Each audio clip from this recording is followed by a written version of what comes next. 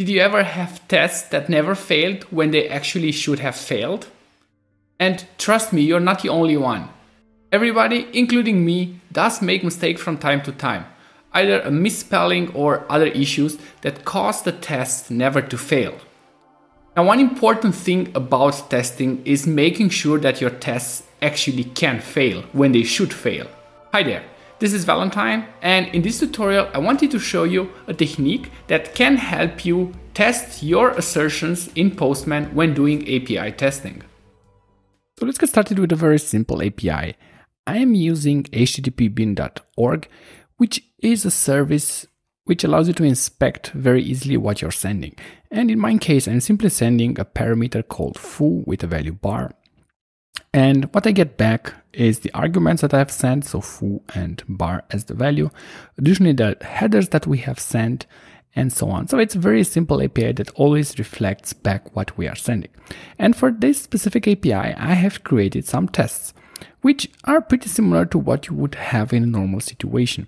So in this case, I wanted to check if the arguments that I have sent, so for example, I knew that I have sent foo, actually has the value bar. And this is a test that is asserting this thing.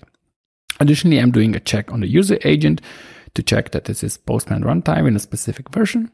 And finally, I'm doing schema validation. So I have defined here schema and based on the response body, I can then validate the schema and see if it works. And if I'm sending this request and I'm inspecting the test results, everything looks good. Now, one important thing when doing tests and especially when doing API testing is to make sure that your tests actually fail when they should fail. Because if the tests don't fail, if something changes in the API, then there's absolutely no value in the test that you have written because they will not give an alarm that something has changed and this will be like a silent fail. And this is definitely something we do not want. Now, there are multiple approaches on how you can do that, but I wanted to show you an approach which involves mock servers. So, what I'm going to do is to define a mock server, and then on the mock server, I'll be able to change the response that I'm getting back. And based on that, I can then see what's going on. So what I will do is I will create a mock server.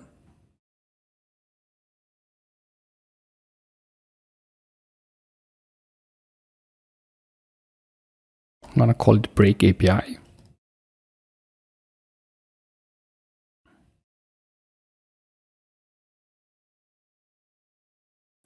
and I'm gonna click create mock server. And that's about it. I have here the address of the mock server. And what I will do is I will create a new environment.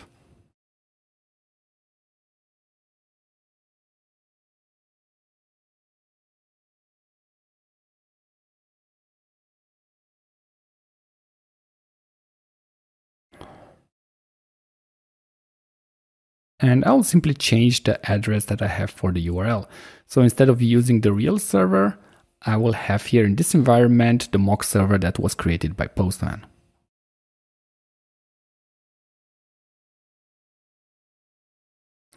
Additionally, what I will do is to add an example. So when I'm going here to add example, this will be automatically populated with the response that I have. And just to make sure that this is something that we are returning, I'm to add here an additional field.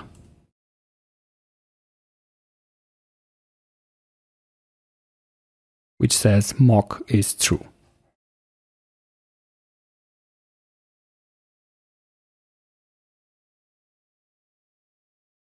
Okay, now what we need to do is to select the right environment. So instead of the live environment, I'm going to select mock.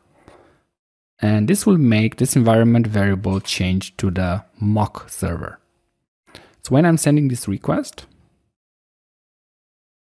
I will still see that all my tests are passing. And this is something that we definitely expect.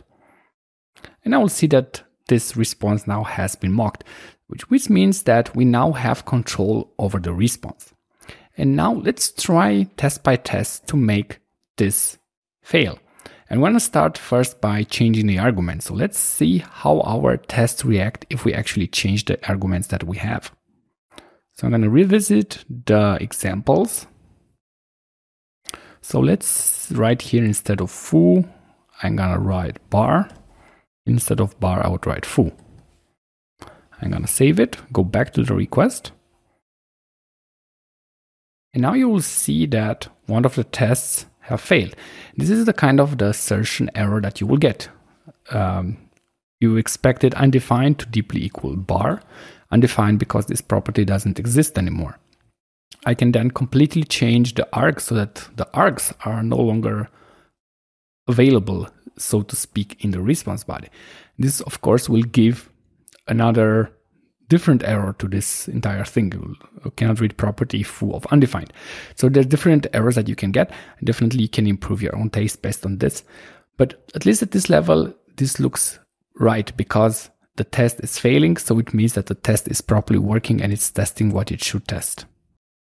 Now let's start with the next thing that we wanted to change and test if it works is user agent. So I'm gonna change the user agent, for example, by removing runtime see if it works. I'm gonna save it. And now going back to the test results.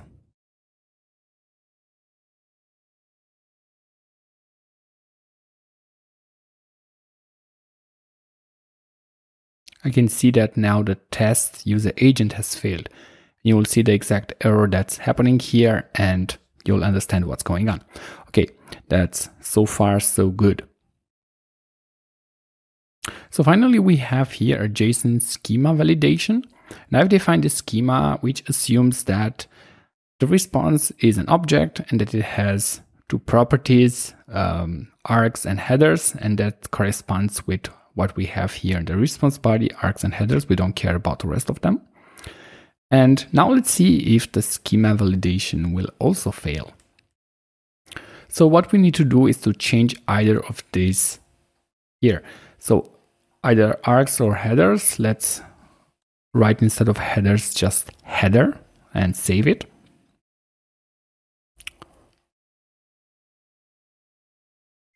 And you'll see here that we have a test that failed, uh, which is saying cannot read property user agent of undefined.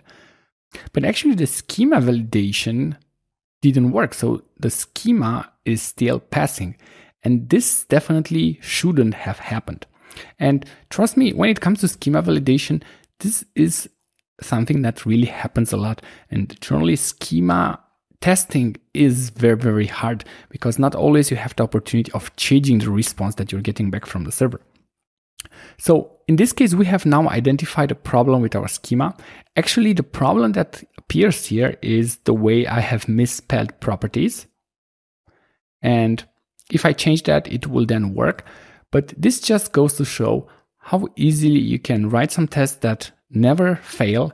And if it wasn't for this other test checking this particular property, and you would only rely on the schema, you would expect that everything will work just fine as before. Thank you for watching and hopefully you have learned something valuable from this tutorial. If this was the case, give it a thumbs up, subscribe to this channel for more tutorials like this, and if you have any questions or any problems, make sure you leave a comment in the section below, I'll be more than happy to help you. See you at the next tutorial, bye bye.